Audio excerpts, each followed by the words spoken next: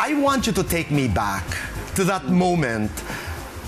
Ito'y according to Tito Dolphy. I had that interview with Tito Dolphy. He saw you in a basketball court. Yeah, yeah. Discovered you there, brought you to Tita Susan. What, what do you remember? At that time, they were looking for uh, someone to pair with uh, Miss Susan. So, tinanong ako ni Mang Dolphy, uh, gusto mo ba mag, ano, artista? Sabi ko, oo. Kasi talagang mahilig na ako eh, noong Okay. pa. Tapos Okay. sabi raw ni Susan, parang ang bata naman yan. And then, after that, ah binihisan ako ni Mang Dolph kasi meron siyang tailoring shop. So, suit and all, ayos na. Tapos Binalik ka? nakita ulit. Ayan, okay yan. Siya rin yun eh.